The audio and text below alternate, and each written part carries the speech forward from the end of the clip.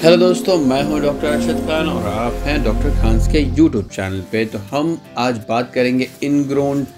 nails के बारे